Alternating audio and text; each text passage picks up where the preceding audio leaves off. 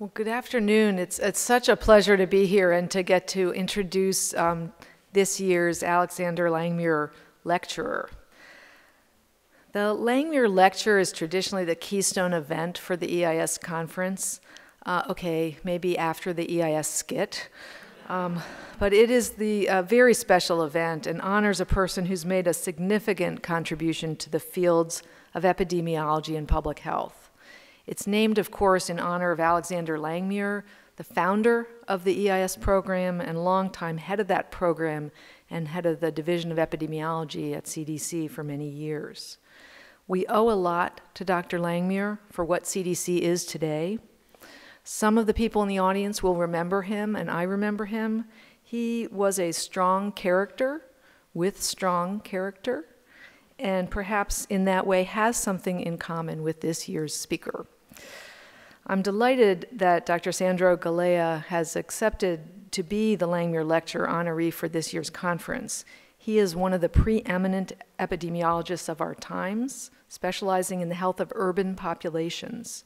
He's focused on causes of brain disorders, including mood anxiety disorders and substance abuse. He's studied the consequences of mass trauma and conflict worldwide, including as a result of September 11th, the Hurricane Katrina, the conflicts in sub Saharan Africa, and American wars in Iraq and Afghanistan. He has long championed what Bill Foege likes to call consequential epidemiology to assure that all of our work is focused on questions that lead directly to actions that improve populations' health. Since this conference theme is So What, it's hard to have a more fitting speaker for our Langmuir lecture. Dr. Galea is currently the Robert Knox Professor and Dean at the Boston University School of Public Health, having previously served as Professor and Chair of the Department of Epidemiology at Columbia University Mailman School of Public Health.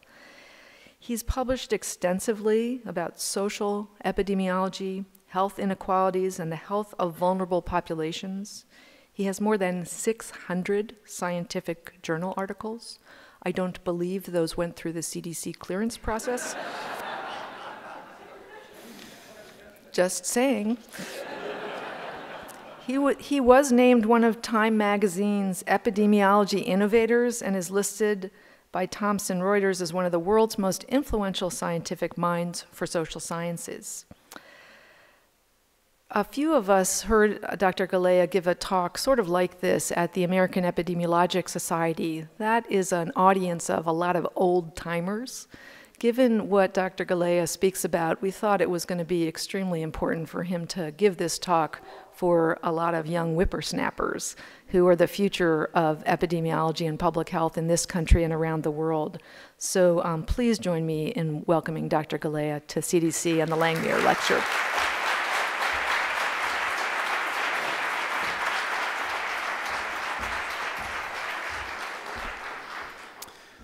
Well, thank you very much, Dr. Simone, Dr. Schuchat, for inviting me. I have had some papers go through CDC clearance. I think there's still a few in there somewhere. just, just kidding, just kidding. I know it actually works very well.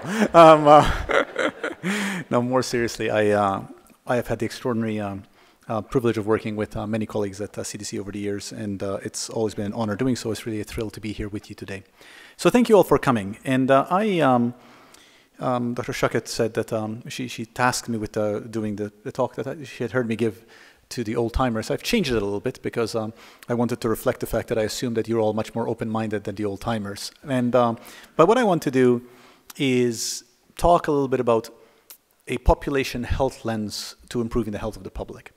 And the structure of my talk is I'm going to make my argument first, and then I'm going to suggest there are five things we're not doing right and offer five different ways of getting around them.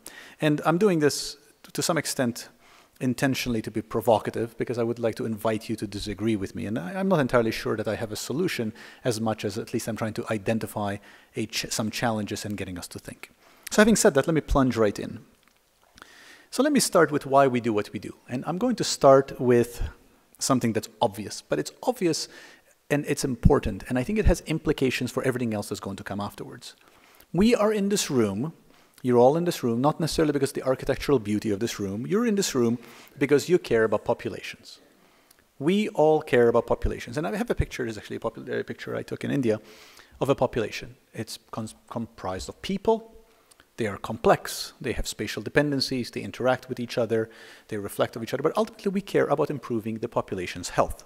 Schematically, that's the population. I've rendered it all into sort of gray stick figures. And let's assume that a certain number of persons in the population are going to get disease. Those are the blue.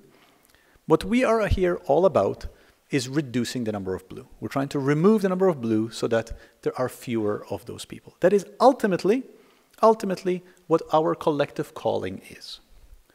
Now, importantly, what our collective calling is not is this, which is focusing only on one select group with disease and ignoring everybody else. Now, everybody knows this, and you're all saying, why is he telling us this? I'm going to come back to this, but I actually think that we frequently forget this, and how we see our job really influences how we do what we do. So that's my setup. Now, let me start with some good news. I'll start with good news because one of the challenges is when somebody stands up on a podium and says, I'd like to offer some things we're doing wrong, it inevitably sort of gets us down to cul-de-sac that says, woe is us. I want to start by saying there's a lot of good news. And a lot of that good news actually is directly thanks to people in this room and the people who have come before you. I have deep, deep admiration for the work of this organization and what it's done over many, many years. I'm going to just show a couple of slides, just two slides of good news. And this, this is sort of underpins everything I say. It's good news. There's a lot of good news. So number one, life expectancy. This is as crude as it gets as a measure of health indicators, right? But we should not forget that our life expectancy, the best documented evidence was from England, which is the longest, you know, was grumbling along in the low 40s for hundreds and hundreds of years. And in the past 100 to 150 years, we have gained 30 to 40 years of life expectancy. That is actually extraordinary. It is unprecedented in human history. And sometimes I'm in audiences where I ask people this question. I ask a simple question. How would you have made your life decisions differently if you expected to die at 45? Right? When you actually think of it that way, you're like, oh my God, it changes everything about my life. So we actually have changed everything about how people live. And that, of course, as everybody here knows, is in large part, almost exclusively, thanks to the work of, work of public health. So that to me is like enormous good news. Now, these are high income countries. This, you see a number of other low income countries catching up. But even in low income countries, this is global child mortality. And the way to read this is uh, the red is the proportion of children dying in their first five years. The blue is children surviving um, in their first five years of life, right? Since 1950, we have made enormous strides. So there's tremendous progress that's happening, and public health can rightly stand tall and take credit for much of this. So I could go on. I could give us an hour talk about all the great things that we've done, but that's not why we're here. We're here because we're trying to provoke ourselves into thinking harder so that we can figure out how we can do even better in the next hundred years. So let's then take a pause and say, how are we falling short? So how do we fall short? Well, there are many ways. I could also spend an hour talk about how we're falling short, but let's just focus on a couple of key metrics. First of all, it's not good enough to say, well, we're doing much better than Central African Republic. It's not a fair comparison. We should compare ourselves to our peer countries. So let's compare ourselves to our peer countries. This is from a, a now well-cited National Academy of Medicine report that shows when you look at things like non-communicable disease mortality, we are 16th or 17th compared to all our peer countries. Now, everybody in this room knows this. We all know that we, our health indicators are nowhere near as good as they should be compared to rich countries. And you must admit, we have a bit of a collective shrug about this. It's almost like eh, we, we just don't do so well at health indicators. But we know this and we accept it and we shouldn't accept it. And the other part about this is, although we know this, what we frequently forget is this slide. So the red dot is the United States. The gray dot are all the other rich countries. And all I want you to see is that as recently as 1980, and looking around the room, you know, about half of us were around in 1980, right? We were in the top half of rich countries just 35 years ago. And we have now drifted to the very bottom, not so long after. So the bad news is that we have brought this up on ourselves in the past 35 years. The good news is that presumably we can undo it in the next 35 years. But to do that, we actually need to pay attention to what's causing it. But this is actually extraordinary. Like, it's actually an extraordinary, extraordinary statement about what we have done to the state of our health in this country. And what does that look like? Here's what we have come to look like. This is my favorite graph in the whole world, actually. So the way to read this is there are two lines. One is women, one is men, but they behave the same way. So you can pretend they're the same line. On the y-axis, which is the vertical, is the rank of the US among the 17 rich countries, high-income countries. And on the x-axis, you have ages. So you see that for newborns, 0 to 1, we are 17th. Um, infants, 1 to 4, we're 17th. We're actually 17th at all age points, see, all the way until you hit age 80. And then we jump to number 1. So this is an amazing country to live in as long as you live to age 80 because then you live forever. Now, the... Uh, then the question I ask you is, is this the kind of country you want to live in?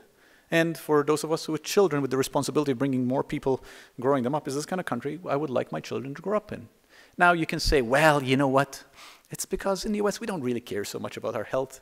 We don't want to spend so much money. We're okay with a bunch of people dying young, and you know, kids they can die. There's lots of them. They're annoying anyway. But it's not true. We actually, my kids are annoying all the time. But uh, I don't know about yours. But um, it's not true. We actually spend a lot more on these things than all other countries, right? This is again, now this compares us. We are the purple line, the other colored lines are all the other rational countries in the world. So like we are, we spend a lot more. And in fact, this is my second favorite graph in the world. This is uh, life expectancy on the, on the y-axis and our um, um, uh, spending on the x-axis. See, all the other countries are clustered together. They spend more, they get more life expectancy. Not us. We spend more and we get nothing out of it. So it's actually pretty cool. So we've sort of figured this out. So there are really challenges. There are challenges. Now, we could stand here and we could articulate many, many challenges. And many of those challenges will be externally focused. We could actually talk about political processes. We can talk about resource allocations at very high levels. But that's not why we're here. I'm actually here, I want to turn the lens on us. So I would like to actually discuss five distractions that I think we have had so I'd like us to actually, us to embrace some of the things that we could be doing better. This is not to the exclusion of other issues that are going on that many others could also be doing. But I want to talk about five distractions, and then I'm going to flip to say, from a population health lens, how could, what are five different ways in which we can be doing things? So let me jump into the five distractions. Number one, we have, whether we like it or not, become enamored with the notion of the individual and predicting about the individual. And this is a real challenge, and we sort of have embraced this wholesale. Certainly at the national level, the initial waves around the precision medicine initiative, and this has shifted quite a bit the, since it launched, sort of was very much in this mode of thinking. But let me just sort of say, how did this, what implications did this have for our thinking? Let me just show you one slide. So this is a slide. This is a from study that's from the Framingham study, which we run at the Boston University School of Public Health, so I feel like I can pick on my own. Um, this slide looks at a genotype score. And the genotype score is um, essentially we're combining a bunch of SNPs, so it's a more sophisticated way of saying it's not just one gene, it's a genotype score. And on the y-axis, you have cumulative incidence of diabetes, right? So what you see is genotype score less than 15, 16 to 20, 21, and you see this beautiful dose response curve, right? This is like EPI 101, dose response curve. Now, when you look at that, almost inevitably, what do you think to yourself? See the genotype score? You're like, huh, I wonder what my genotype score is. right? I mean, come on, admit it. Like, that's what you think. But of course, you know somewhere in the back of your mind, but we keep forgetting that that slide is entirely compatible with this slide, which is also in the same paper. Genotype score on the x-axis, and two curves, people with diabetes, people without diabetes. Now look at the genotype score. Now, do you think that your genotype score matters? No, of course not. Because genotype score does matter, but it matters at the population level. But it actually matters hardly at all for me as an individual. When we focus only on the individual, we forget this fundamental, fundamental theorem of, how, of the science behind population health, which is that observations at the population level don't matter so much for the individual, and as a result, we need to keep our thinking at the population level. Let me ask you this question. What measure of association, what relative risk or odds ratio do you think you need at the population level for it to matter to the individual? Two? Four? I'm not going to ask you to raise your hand, but come up with an answer in your own head. Six? Ten? How many of you have published papers with an odds ratio of more than 10? a couple.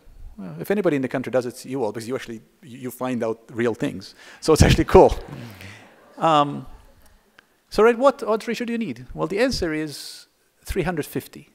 So this is uh, from a great paper by Margaret Pepe and her group. And you look at the bottom right, odds ratio 350 is where you actually have curve separation.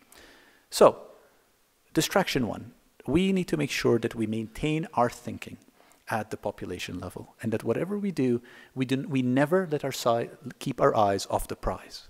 And this is not in any way a critique, I just want to be clear, not in any way a critique of uh, precision medicine, personalized medicine, simply saying that these things must always be balanced with our focus on population health and that our science helps us identify population needs, not individual needs. Distraction one. Distraction two, and this is where epidemiology really takes a beating. So we are obsessed with isolating individual causes. So for those of you who haven't done a PhD in epidemiology yet, I will in the next 30 seconds tell you all you need to know, and uh, then you can dispense yourself with it.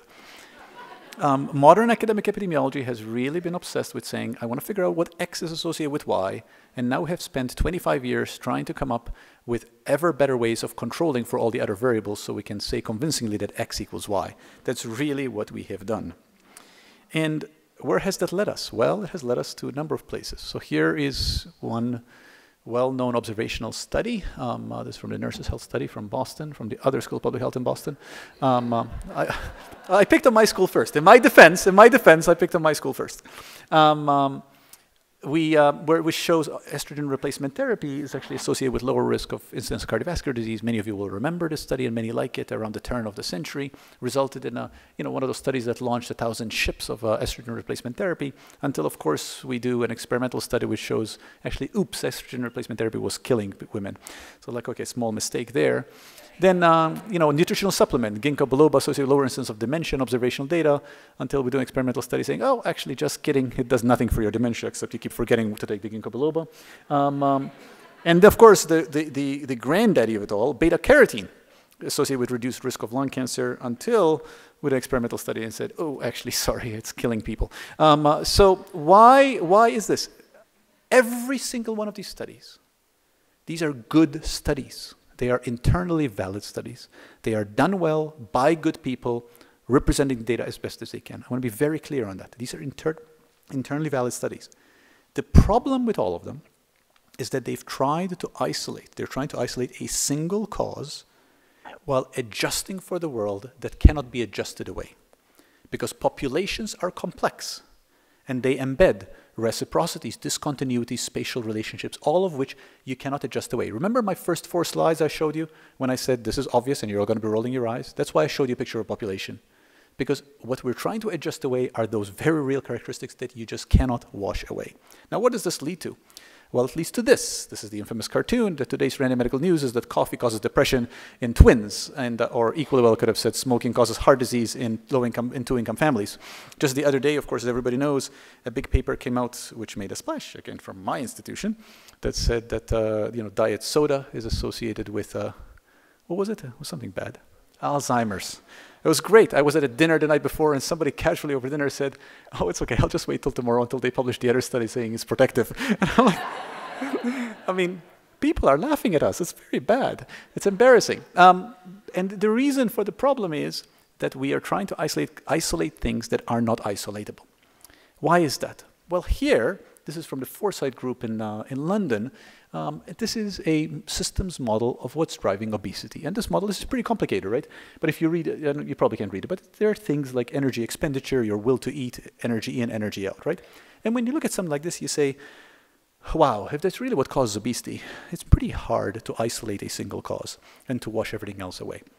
You just have to pause for a second and reflect on how complex the world is to realize that actually washing things away is probably not the right approach. And of course, then you realize even more how much is the case when you realize that I'm actually not showing you the full model. That's just the inside of that model.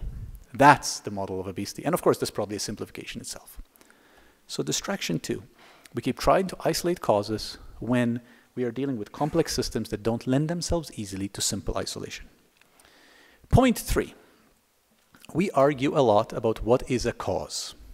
We argue a lot about attributing things to particular causes. And these arguments are really consequential for, for funding flows. So the, um, this is from uh, a classic paper from CDC. This is from uh, Bill Foege, who was mentioned earlier, um, and Mike McGinnis. And um, they initially published their initial paper, which was then updated by uh, Dr. Mokdad and uh, colleagues. They published a paper that showed that uh, tobacco, poor diet, alcohol, microbial agents, toxic agents are the, what they call the actual causes of death. So they moved the discussion from saying the causes of death are heart disease, lung disease, etc., to saying it's tobacco, poor diet, alcohol consumption. And this was a very important paper, but it actually ended up being one of the foundations of the healthy people thinking, and it shifted our focus from the pathological, the end cause of death, to a little bit more upstream. So taking this paper as a base, we eventually did a paper. If you actually read the um, Bill Foege editorial that accompanied the Ali Mokdad paper in 2003 that redid this, in it, Bill Foege said, well, one of our next big challenges is to try to go a little bit more upstream and quantify a little bit more upstream.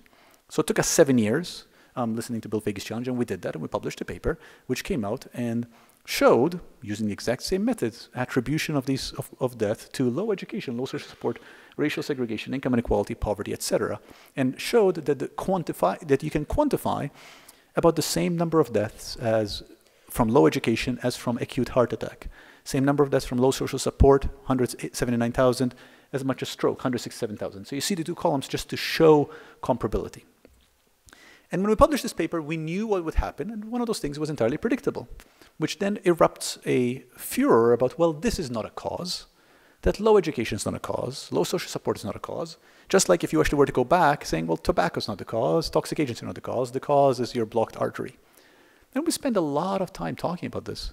And I actually think this is just time wasted. Of course, these are all causes. Of course, tobacco is a cause. Of course, poor diet is a cause. Of course, low education is a cause. Of course, income inequality and poverty are causes. These are all parts of complex causal webs. And we are simply misspending our time if we keep trying to think about isolating simple causes and trying to think about some fairly artificial definition of what is a cause and what isn't a cause. In epidemiology, there's a, there's a robust literature that says we should only think of causes as things that we can change, which is utter nonsense because A, a cause is not dependent on whether we can change it or not, it is or it isn't. And B, how many times in history have we said we cannot change something only to turn around and change it the next day? Now, I have good news on this, or bad news, depending on your perspective. We've been arguing about things like this in public health for almost 200 years now. So this is uh, Edwin Chadwick and William Farr, two of the founding fathers of public health, who were around the same time as the when John Snow pub was actually a real pub. Um, uh, the um, and I don't know if people know the story, but they argued quite a bit about attribution of cause because William Farr said that children were dying of poverty, while Edwin Chadwick, who was more of a politician, said not true. They were dying of nutrient deficiency. And uh, they went on and on. Of course, Edwin Chadwick won, and uh, it was uh, that was the word that went out. But even then, we're arguing about attributing causes, and it matters. It matters how we attribute causes. And I think this is a complete distraction. And, and, and in part, we are driven to this distraction by our insistence on trying to isolate causes, when in fact we should simply accept there are many complex forces that shape the health of populations, and let's figure out how to grapple with them. That's distraction three. Distraction four. Distraction four is we keep forgetting about ubiquity. We keep forgetting about the forces that are all around us that matter a lot. I'll show you one concrete example. Um, uh, this is the uh, crack baby epidemic of the mid 80s, which um, you know, it was important. It resulted in a lot of a lot of money being spent on it. But essentially, the argument was the gestational cocaine exposure was resulting in developmental delay in children. There were early childhood signs and symptoms. And study after study in the long term showed that actually there was no real long term difference in uh, how these children were functioning. This is the Peabody vocabulary test. The gray bar are kids who were exposed to gestational cocaine exposure, and the, the white bars are the control. But there was something different about these kids there was something different about its kids, but it really wasn't linkable to gestational cocaine in the long term. What was different about them was this, was environmental stimulation in the environment they were growing up in. Because these kids were almost all ubiquitously kids living in poverty. So these kids had enormously different set of surroundings. And what we were focusing on this one particular exposure was a reflection of this larger set of influences from which there was no escaping. And we keep doing this. We keep forgetting these ubiquitous forces. This is, leads me to my, sort of my favorite metaphor, which is this. So this is, as a dean of a school of public health, I, have, um, I don't have much time. So I don't have much time for pets, but I have a pet goldfish. This is my pet goldfish. And I want my pet goldfish to be healthy. So I care about my pet goldfish. So I tell my pet goldfish, in order for you to be healthy, you need to swim around your bowl 10 times clockwise, 10 times counterclockwise every day so you can exercise. And I tell my pet goldfish, when I feed you little flaky stuff, don't eat too much you don't get fat. And I tell my pet goldfish, when you have a goldfish companion, make sure you have safe goldfish sex. Right? I mean, raise your hand if you don't think that sounds like modern public health. and one day I walk into my living room and my goldfish is dead. And I say, but how could it be? It was exercising, it was eating well, it was having safe sex. How could it be dead? Then I'm like, ah, I forgot to change the goldfish's water. And this is the mistake that we make all the time, that we forget about forces that are ubiquitous and all around us, and we focus only on individuals. Distraction four. Distraction five, we focus, we actually talked a lot about this today in earlier conversations. Um, uh, it, it's, it's, we, we, we, we're compelled, and many, many times because of political pressures, understandably, to focus on urgencies that distract us from what's really important. And you all deal with this much more than I do, um, uh, with, for good reason. I mean, you, are dealing with outbreaks all the time. This is sort of the Ebola stuff, and uh, everybody here knows that, that these are important issues. Of course, everybody also here knows the scale of number of people affected by things like Ebola, HIV, and flu, and the, and the burden on society. But forget that. Let's talk about this actually something a little bit more taking a little bit more out of the heat of the public eye. Things like obesity, right? This is, these are all your data. The extraordinary obesity epidemic, 1990 to 2010.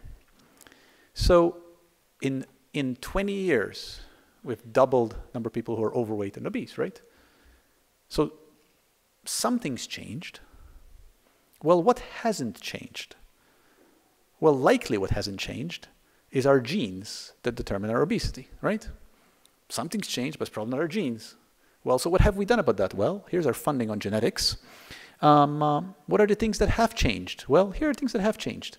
Look at food, 20 years ago and today. Look at the calories, bagels, 140 versus 350, muffin, 210 versus 500, cheeseburger, pasta, etc. That's changed in the past 20 years. And what's our funding for behavioral factors, things like that have done? That's what that's done. So our focus on a particular lens driven by what we find compelling today, what we find in immediate today, frequently clouds our capacity to look at the important. And again, I, I, I don't say this in any way um, uh, out of naivete about the challenges that we face when we have immediate, urgent concerns. But I'm trying to here label it so that when we're actually collectively dealing with these issues, we can at least understand the frame within which we're operating. So those are five distractions. Now I want to move to sort of five different lenses. And I'm going to frame this in this rubric of sort of population health science. And population health science, as far as I'm concerned, is ultimately the science that underlies what we all do, what we're all interested in. It's the study of conditions that shape distribution of health within and across populations, and of the mechanisms through which con these conditions become health. Right? That is roughly what you all study, what we all study, what you all act on. So we published this book last year, um, um, which uh, with my colleague uh, Katherine Keyes, and in this book, we centered our thinking around population health science around nine principles. And depending on your perspective, well, I guess you can have three perspectives on on the book and its nine principles. Number one is you can think we're all wrong, which is fair enough. We can discuss that. Number two, you can think that some of these principles are obvious. Or number three, you can think, well, they're obvious, but we actually don't pay attention to them, and it would be helpful for us to elevate them to give us a lens through which we can look at how we do what we do. So I'm not going to go through nine principles. I'm going to just talk about five of them in the interest of time and also to balance out that I started with five distractions.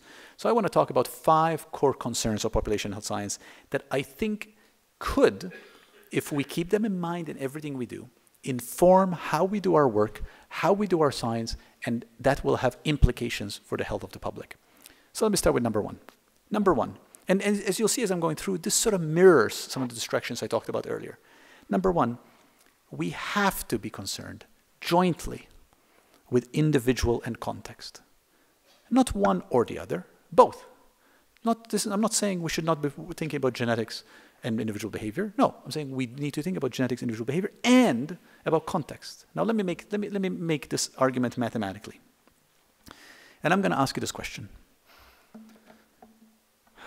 How much of your cognitive ability, or your IQ, your brains, your smarts, is attributable to your genes? So you're in this room because you're smart. It's just how it works. Okay? And let's make an assumption, a simple assumption that there are two things that make you smart your genes and the environment in which you were brought up. That seems like a reasonable assumption, right? Genes and environment, the two things matter. So, given that those two things matter, my simple question for you is what percent of your smarts is due to your genes? And I would like everybody to come up with an answer in their own head. I'm not going to make you write it down or raise your hand, but I would like us all to be honest, hold ourselves accountable, and come up with an answer. And Then I'll give you the answer, and then we can raise our hand to see how many of us were right. So, what assumption? Two things matter genes and environment. What percent of your smarts is due to your genes? Everybody have an answer? Yes? Even you all over here? Yes? Okay. So let's do the math. Let's go back to a population. This is a population, and I'm going to represent the population by representing people with a gene and people with the positive environment. The, when the gray becomes black, so the black is the gene, the smartogenic gene, okay? And I'm going to use the same pattern of smartogenic gene uh, consistently through my example. And the smartogenic environment is in green. And my schema is black plus green becomes smart, right? Gene plus environment becomes smart. Black plus green is going to become red. I have one exception in this, which I'm going to throw in a few random smart people, because we all know people who you can't figure it out. Like their parents are like, ugh, and they grew up in a terrible environment, but um, they're still smart. They're like dandelions, right? It's a, it's a, so those are the dandelions. But apart from those exceptions, black plus green equals red, okay? Scenario one, mostly green environment. You see the few red, red dandelions. You see the black, I'm showing the black just as dots stipple, just so you can see them behind the green, right?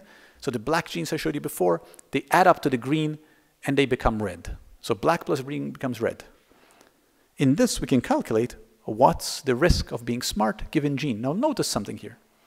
Do you notice that everybody with the gene became smart? Do you see that? So your relative risk of smart given gene is about 4, and the population attributable risk proportion is 100%. So the answer to what percent of your brain is due to your genes is 100%. Not so fast.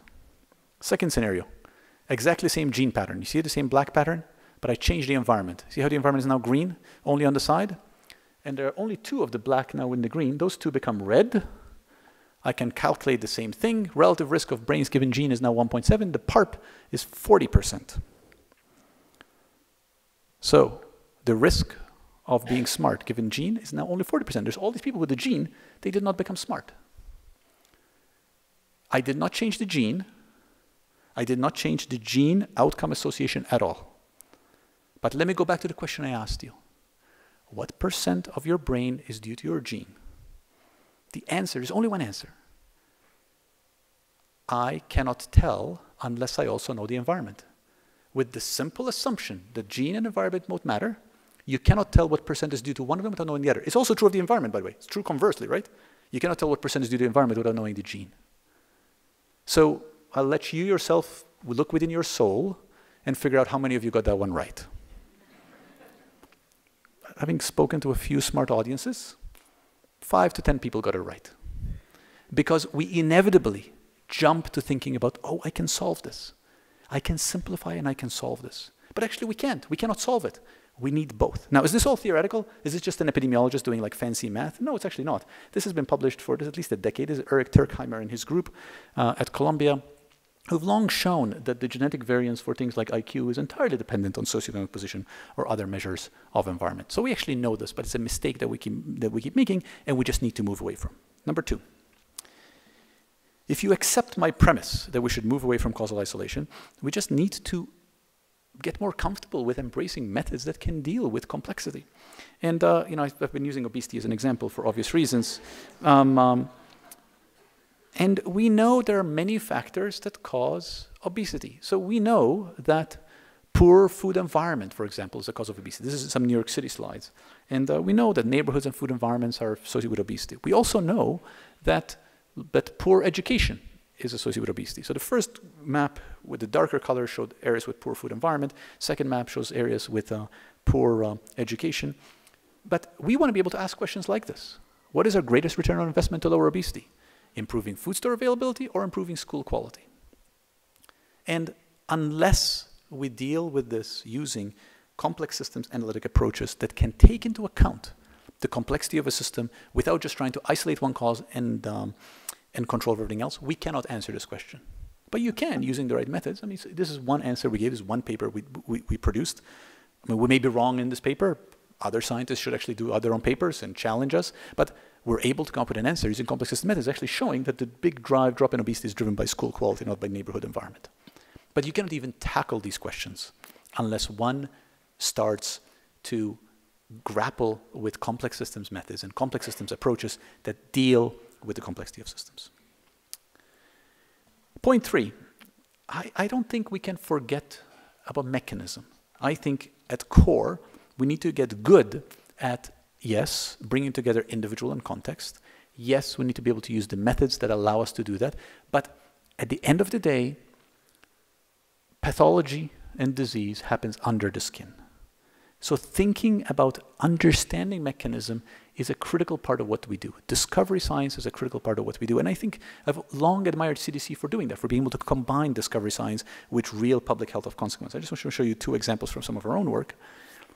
This looks at um, post-traumatic stress. And what this is, is on the x-axis, you have moms with number of post-traumatic stress symptoms. So if you go from left to right, these are moms who had more post-traumatic stress. The green bars, the green are children, and if the children had a traumatic event, it's how many symptoms of post-traumatic stress the children themselves had. The darker the green, the more symptoms the kids had. So if you go from left to right, all I want you to see is that you have more of the dark color. So as the moms had more symptoms, their kids, if they had an adverse experience, they also had more symptoms, right? That's actually really interesting. And it raises the question, why is that? Like, what are the mechanisms that are explaining that? What are the mechanisms so we can actually figure out how to intervene and mitigate them? This is then from another follow-up study we did where we actually showed that some epigenetic patterns, some methylation around the MAN2C1, which is a functional gene that makes people vulnerable to post-traumatic stress, makes you more vulnerable to post-traumatic stress symptoms. Entirely plausible that this is transmitted from mother to child. And the way to read this graph is you go on the x-axis is more methylation, the lines are number of post-traumatic events. The top line is more post-traumatic events. The bottom line is less. But what you see is at every level of methylation, you have more trauma is worse, but methylation modifies the amount of trauma. So this is one mechanism. Again, I don't know if this is right or not, but it's a focus on mechanism to say it's not good enough to say there are things outside the skin that shape the health of populations. It is also part of our job to understand the mechanisms, and it's part of our job to understand the mechanisms so we can explain it if nothing else, and also so we can mitigate. Point D, a concern with what matters most. This is my only point where I feel like I'm, I'm being a little bit controversial given, uh, given the context, but I thought it was important to at least just talk about this. Um, um, so uh, let's talk about a big public health problem that is difficult. It's difficult to deal with within the political environment, but we certainly can and have a responsibility to deal with it in academic schools of public health, which is this. This is number of people who die from guns in the US. This is just children and teens, showing how much the US um, has a lot more kids who are dying from guns than in other countries. What have we done in response to this as a country? Well, one of the things we've done is focus on mental illness. There is bipartisan agreement that mental illness is the problem. Is that true? Well, when you look at data, you see that people with mental illness are indeed more likely to have violent behavior. You can also look at much other data that shows that people with mental illness are much more likely to be victims of violent behavior. But leaving that aside, it is true that people with mental illness are more likely to have violent behavior. So what have we done? Well, we've had a lot of approval for, for removing guns from the hands of people with mental illness. This is the um, um, um, National Instant Check System showing the exponential increase of removing guns, particularly people with mental illness. And the question then is, is this likely to matter very much? Well, let's do a simple thing. Let's compare the United States to a natural experiment called Canada. We tend to forget about Canada because there's this notion that Canada is somehow different. I have spent many years of my life in Canada. It is exactly the same as the United States, only slightly colder, and they have national health insurance. Um, um,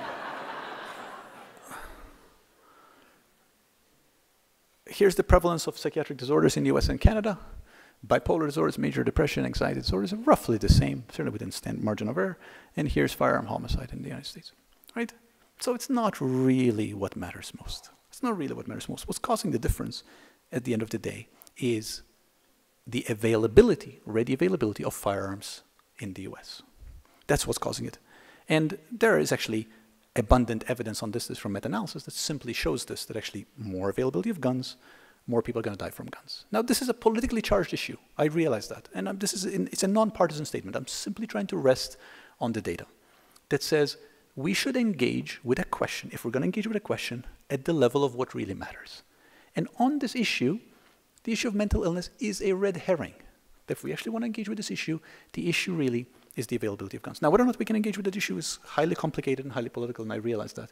But it is really bracing to say to ourselves, all we're doing is actually tackling something which is at core a distraction with the concern of population health. That's point four. And point five, I think we need to embrace the challenges of balancing health equity and efficiency. And it's something that we have not been particularly honest about, something that we've been particularly flexible about. So let me start with health, health equity. This compares the United States in terms of our under five mortality per thousand live births to selected countries. Nothing surprising here. I already showed you we do worse than other countries, but I showed you we do worse than other rich countries. Here I'm showing you we do worse on countries like Cuba and Greece. And you know, Greece has a hard time getting anything right, but they still kill fewer children than we do. Um, um, so I showed you that, but of course, you can overlay Ethiopia, this is the same graph, exactly the same graph. All I've done here is just change the y-axis so Ethiopia fits. And you can choose any number of other countries. So there are huge inequities. This is across countries, but there are huge inequities within the United States. This is um, from National Academy of um, Medicine report that looked at inequality and life expectancy in the US. This is for women, you can do the same thing for men, showing the increase in life expectancy for the richest 20% of women the plateauing of life expectancy for the middle 60% of women, decrease in life expectancy is projected for the poorest 20% of women. Essentially saying that our life expectancy increase for women is driven by increases in the richest 20%. My challenge is presenting the slide is that I'm always in rooms with the richest 20%, as is this room.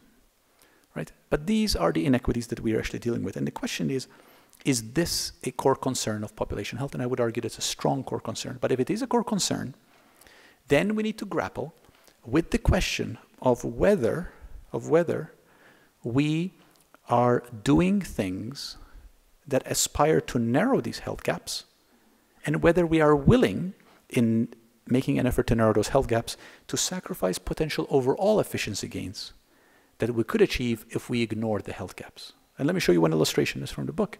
So this is a simple illustration. Supposing before an intervention, you have two communities, and you have DALYs, 50 disability adjusted li li uh, life years, 50 and 50 both communities, and you intervene, and you intervene, and the uptake of your intervention is, as it is with many interventions, much higher in high SES neighborhoods. So now you've intervened overall, and what you've done is you've actually introduced an inequality. So your highest SES neighborhood has now gone to 60, while your lowest SES neighborhood has gone to 55. Now, you can say, okay, but now our overall DALYs is 57.5, right? So is it okay? Is that okay that we've gone from 50 to 7.5 and introduced a gap of 5? My answer is I don't know. I actually don't know if it's okay, but I actually think we should be honest about it and grapple with it. And I think population health science that's forward looking and future oriented needs to be honest about these challenges. This is a challenge. Because, of course, you can say there's probably a different way of structuring the intervention in such a way that you don't go up to 57.5 overall, you go up to 56 overall, but you maintain no health gap. Is one preferable to the other one? I actually don't know. I'm not here with an answer, but I think these are the kind of challenges that we need to surface and grapple with. And this all often brings me to this, to, to this paradigm, which is that at the end of the day, what we do in, pop, in population health and what I'm sure you're dealing with, as you're at the much harder end of population health than I am. I have the luxury of being in university where you know people can have fanciful thoughts that are completely ungrounded from reality. I get that. You actually have the you actually have the responsibility of doing stuff, and uh, that is you have my undying respect. People often say to me, like, you know, like, would you ever consider working for government? I'm like, no, it's just such a much harder the job you all have than the job I have. Um, um, but I've really come to feel like we have these two axes, and one axis is values, and the other axis is knowledge. So the way to read this graph is knowledge is on the, is on the x-axis, and values is on the y-axis. So the right-hand column are things that we know. The left-hand columns are things we don't know. The top row are things which we actually feel like we should act on. The bottom row are things that society we don't feel like we should act on. So look at, look at the grid. On the top right, polio eradication. We know what to do, and we value eradicating it, and we're close to doing it, right? The bottom left, things related to guns. We actually don't know very much what to do because we haven't done much research. And societally, we're not really ready to tackle this issue. That's at the bottom left. Now look at the off diagonals. Injection drug use harm, things like safe, um, safe syringe exchanges. We actually know that these things work, but we're not comfortable with them. Our values are not comfortable with them in society. Now look at top left, Zika. We acted on Zika today. I was the privilege of being at this fantastic lunchtime presentation that really showed how CDC and organizations like it in the world, although nothing's really like CDC, can really act and make a really big difference even as you're, you're collecting the science. You didn't just sit down and sit there and wait to collect the science. You acted at the same time as we were learning, right? So Zika, we really wanted something to be done. You did something about it, even though we didn't really know enough. So the question about this paradigm is this. If you agree that there's something to this paradigm, should we collectively be acting only on the knowledge axis? Shouldn't we also be dealing with the public opinion values axis? And if we should be, what are we doing about that? And I would argue that we actually don't. I would argue that, I, I sort of feel like you have two choices. One is you can stand up when I finish and tell me I'm totally wrong about this, which is fine, we can discuss that. But if you don't think I'm totally wrong, then I feel like we have to be honest and say, why are we not doing that? Or maybe we are.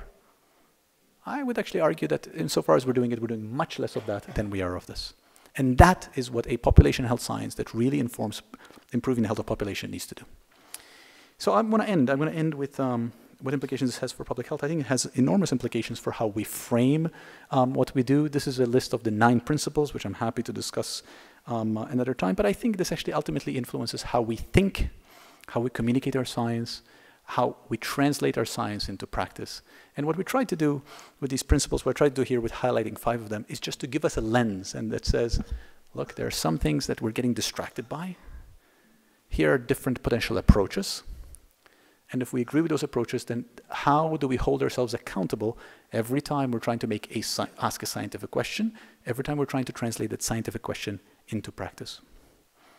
It's really a privilege being here. Thank you for having me.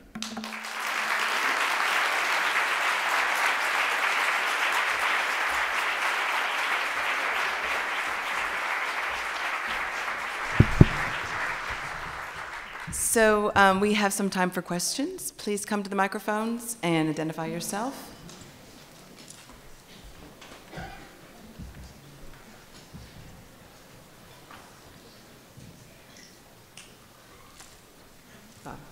Hi, um, that was a wonderful presentation. Just uh, focusing on that um, two by two um, piece, if you could put that slide back up again, the, the, the four yeah. cells. I have, I have no control oh. of the slides. um, the gentleman in the back would need to put the slide up, back up. Okay. Is that possible? I can, well, I can mime it, sorry. okay, I'd just like to ask you if you would to look at that uh, with us and, um, and, and think about the we that you talked about and, and ask ourselves about alternate facts um, on the bottom line. Um, um, well, I think I can answer the question without the use of a visual aid. Um, um, I, I uh, you know, I'm not sure how to answer this because I'm, I'm, trying to be very careful not to say anything that gets any of us in this room in trouble in an active way. Um, um, I think there are some things on which the science is decided. And um, I actually think we should not be afraid of saying that. Or let me rephrase that.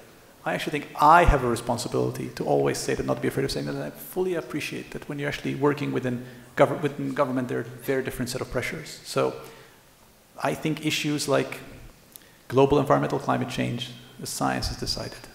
I think issues like whether or not having access to lethal means of killing yourself is associated with you being more likely to kill yourself is decided.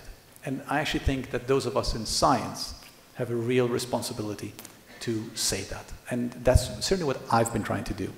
Um, the extent to which that, of course, translates into action is much more complicated. That's a much more complicated question. Hello, uh, my name is Megan McCarthy. I am a Master's of Public Health student at the University of Florida, so please excuse me for being a novice. Um, however, my question kind of goes off what you were saying at the very end in regards to how we communicate science. Um, my question is, what can public health professionals do to address the issue with this growing movement of pseudoscience and not having just a very huge distrust towards the scientific community in regards to things like are vaccinations safe? Things of that nature. Yeah, I, I think um, um, um, in front of me there's a haiku contest, and inequality is actually it's one of those moments in life. Okay, um, uh, I um, I actually think that um, we are two two answers to that. Number one is we are losing if if we allow some of the alternative fact nonsense to gain currency, including in things like vaccine, it means we are losing and we're not doing our job well enough. It should be part of our job to fight it. I'm not saying it's easy, but I actually think we've been reluctant warriors on the axis of changing values and changing public opinion. And, and we need to accept that that, right, that's what the vertical axis I was showing, that that's part of what we do. That's number one. Number two is, I, I understand that we keep hearing about the public distrust science. I, I, I give the public a lot more credit than that. I think there is manufactured doubt and manufactured distrust that comes not from a level playing field, but from very particular special interests that have a reason and the need to sow mistrust. I actually think if we can effectively push back on that, we, it, it will not be that hard for us to get the public's trust because I think at core the public is smart and the public likes science and the public like, likes facts you know, good old-fashioned facts, not the alternative ones. In the back. Uh, hi, uh, I'm Juliana. I'm a first-year EIS officer. Thank you so much for your lecture. That was brilliant. And the question I want to ask is regarding uh, your model for causes of mortality and the going upstream. And my question is, I'm sure we all realize that the reason why we keep downstream is because as public health professionals, that's where we can act the most. If we can identify tobacco as a cause, that's where we can act. And adding the complexity level that you came back to your, in your lecture many times, the, higher the complexity, the more we had the hands tied to act upon. So how do we deal with that dichotomy and what your thoughts on that? Yeah, so I think I have the year right, but I could be slightly wrong. In 2004, I was here at CDC doing a talk. And for some reason, the conversation turned to things that are impossible to do at the collective level. And the conversation turned to doing things like, what if we made trans fats illegal? And I remember the conversation going, to, well, that's impossible, it can't be done. Until, of course, the week after, Dr. Frieden did it in New York. Um, um, so I actually think that what we say is impossible today is radical tomorrow, and it becomes um, accepted wisdom the next day, it becomes what we've always done the day after. So I, I'm not willing to accept that these are things that we cannot do. It is part of the job of public health to take what is acceptable and make it unacceptable. Right? To take things that we say these are, these are acceptable. It's acceptable that we spend far more on health than anybody else and we can't do about it. It's actually not acceptable. It should be unacceptable. And again, I'm, I'm being very careful to be clear that it's the collective responsibility of the entire public health enterprise. And the entire public health enterprise should leverage its different constituents cleverly. And insofar as there are things that universities can do that the public sector cannot do, we should push the universities to do those, and universities need to embrace their responsibility, and conversely. So I, I, I don't think this is, we, the public sector, the academic sector, we're part of the same mission And I just want, I'm just trying to urge us to embrace that mission and make sure that we, each of us, do what we can within our, from, from our own perch. Back in the right. Um, it's wonderful to see what you're doing in uh, getting complex systems into the uh, analysis of uh, public health uh, outcomes. And that, uh, because public health has been given a mandate to look at common interests, that is a huge step in the right direction. But if we look over long periods of time, we could also consider the incorporation of feedback loops. Uh, into this process, and, and to consider how this is affecting the evolution of, of our civilization. Um, uh, so, for example, what you've shown in uh, the, the, United States standing relative to other uh, wealthy nations, that's the propagation of a design defect. And uh, by, by, the same token, uh, global warming is the propagation of a potential extinction process. Um, so uh, I, I noticed you published with Rod Wallace, uh, Roderick Wallace, and uh, uh the, the, the, these propagation events. I, I, wonder if you could comment on, on, on the notion of a propagation of design improvements as we uh, as humanity gets away from sleepwalking with the enormous uh, risks that we're exposing all of life to, uh, and, and to, to, look at a, a, broader view of what humanity's mission is on, on this earth. Yeah, one, one of the things which I've tried to do in my career is work with people who are far smarter than I am, and that has served me well. Dr. Wallace is one of those people. Um, um, I think the, um, what the complex systems approach teaches us is that small, seemingly innocuous changes, they're propagated, to use your word, down the chain, and they manifest in enormous, in enormous differences. So go back to the life expectancy that I showed over the past 35 years as to how we've fallen behind. Why is that? Have we, do we have less medicine? Do we have worse diagnostic tests? Do we have less discovery science? Do we understand pathogenesis less? Absolutely not. None of those things. What has changed is a slow disinvestment in the HS part of HHS and the human services part, the infrastructure part. That's what's happened. Those small disinvestments have chipped away at our collective population health. Hasn't happened overnight, but now we've seen their propagating effect. And we need to be vigilant to that. One of the challenges I think we have in science is, well, you can't say that until you actually have 10 years of longitudinal data. That's true. This goes back now to what I can't do, but you can do. I think there are things I can say, you can, I can say and you cannot say. But then I, I think there are things that are harder for me to say. Like for example, this is going to have implications and we shouldn't wait 10 years. But I think you can do that. So I think collectively, if we see it through that lens, we can try to nip these negative self-propagating events in the bud. In the rear? Hi, my name is Carolyn Robbins. I'm from HRSA, and I'm a social epidemiologist, so I loved everything about your lecture. Um, but I was wondering if you can um, add some more specifics about how we can apply this to our research. You mentioned um, adopting methods that can embrace complexity. Can you describe that in more detail? Um, yes. Uh, so we have a book out on that. It's called System Science and Population Health. It's not, um, you know, it, it, it's not a page turner. Um, um,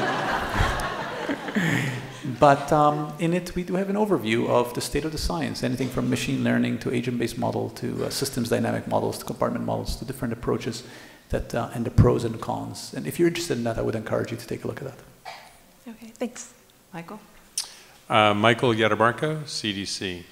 Um, returning to the first two questioners and a little bit in the others, um, I think it's natural that people in this audience are turning to your two by two table. And um, I agree that it's really uh, something insightful to talk about the value issue that you propose. But I'm wondering also about the other axis. Have you thought much about how, not the science or the research, but what kind of scientists we should be and what kind of scientists there are? Um, so, for example, some people talk about scientists who are advocates, some people talk about uh, scientific arbitrators. Uh, other people talk about sort of collective science like we do with advisory committees. And I think sometimes we, we uh, maybe we should focus more on what kind of scientist we are and where we fit. Have you thought along those lines at all and comment there? Yeah, so we've actually, I've thought about a reasonable amount, both from an intellectual engagement point of view, but from a, from an institutional responsibility point of view. So what I've feel like I've tried to do in the past four years with my last two books, leaving aside the system science book. One is population health science. The one that came before it was called Epidemiology Matters, which was a epidemiologic methods book that is unlike all the other epidemiology methods books out there. What we try to do there is to deconstruct the canon of epidemiology to teach the same things that we card-carrying epidemiologists want to know, but through a population health lens. And so we're trying there, we're trying to grapple with this very big question you're asking, which is what kind of science do we want to do to the end of improving population health, and what kind of scientists do we want to create? And if you disappeared, but uh, it, it, was there a second ago.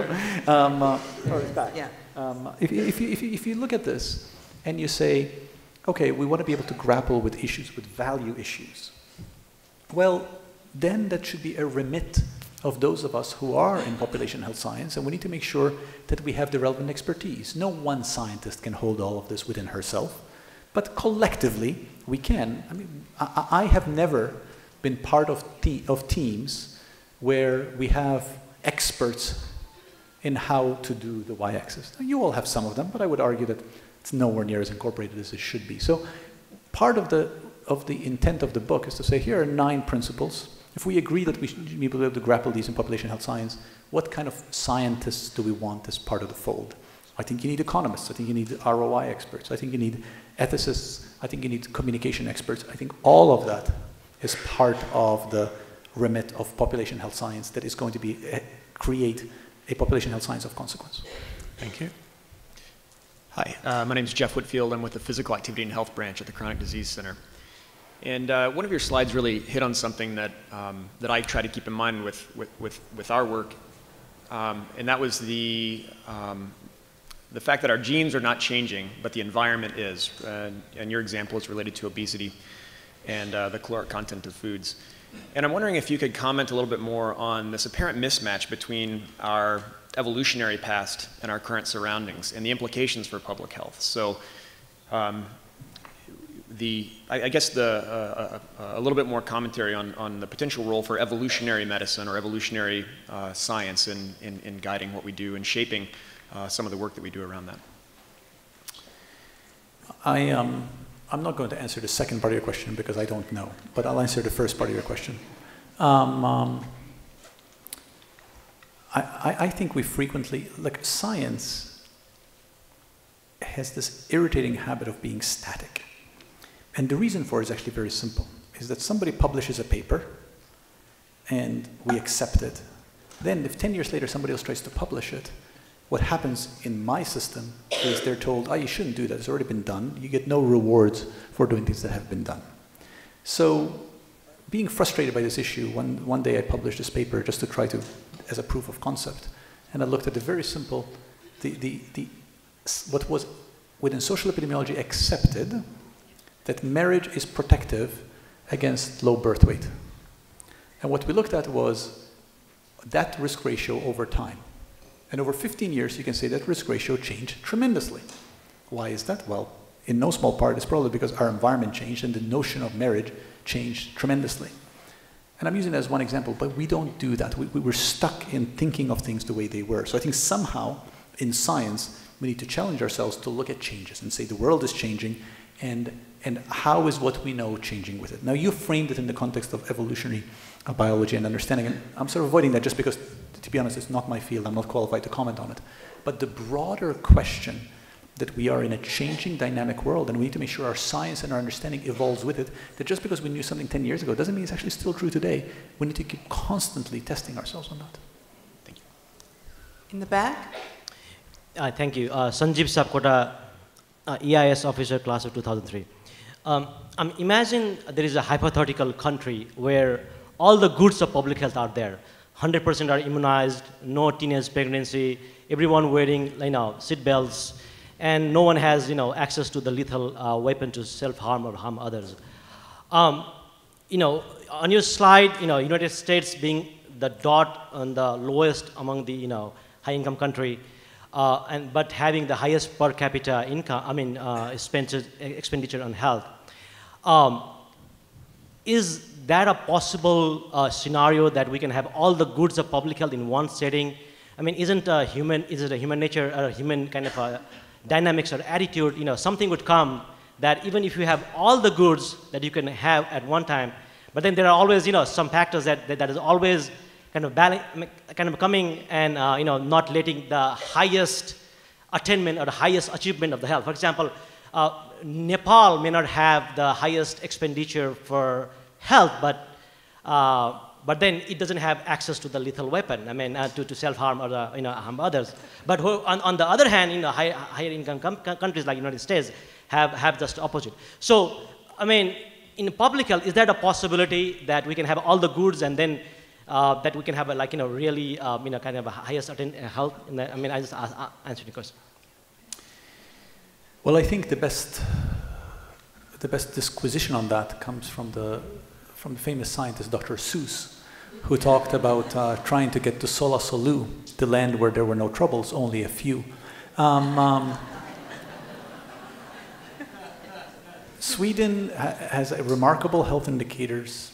They have a, actually a functioning health in all policies, health evaluation assessment system, and they have totally messed up dealing with the influx of uh, migrants from other countries and uh, sort of the resulting ethnic tensions. So I, I, don't know any country that's anywhere near perfect, but the good news, here's the great news, that we are so far from perfect that we have a lot of work to do. So with some luck, we'll all be employed for quite some time.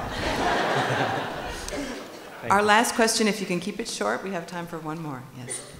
Well, uh, I'm Soilan Banerjee, mathematical statistician in environmental health CDC.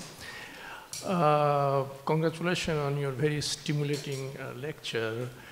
Uh, but what I think that what you brought up are, uh, are very interesting, but do you feel that the public health experts have, can only do so much because there are seems like limitations. For example, take the example of the gun, gun control. Now you already showed the com comparing with the Canadian data that it is having the gun which makes most of the differences.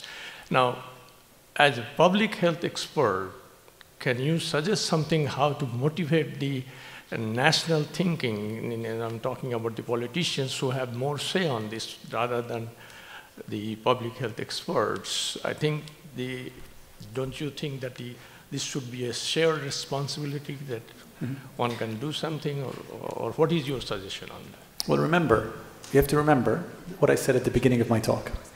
I said at the beginning of my talk that I think one could do a totally separate talk that talks about the shortcomings of many sectors that result in some of the challenges we face today. But my talk, I specifically wanted to focus on us. I wanted to look inward at those of us in population health. Do I think at the end of the day it's a shared responsibility? Absolutely shared responsibility. Could I articulate things that within the political system could work better? Absolutely. I, I, I suppose I'm trying to challenge us to be better at what we do. And uh, I'm saying if values matter, then we should engage values. Now, how we do that, it's complicated, and we should do it within the constraints that we all work within. But ultimately, I have tremendous confidence in the capacity of smart, well-intentioned people. And the reason I've spent my adult professional life in public health is because, in general, the model person is smart and well-intentioned, and I like that. So I actually think there's a lot we can do. No, not alone. Uh, but my attempt here is just to provoke us to just sharpen our thinking so we can do what we really are trying to do better. That's all. Thank you very Thank much. Thank you.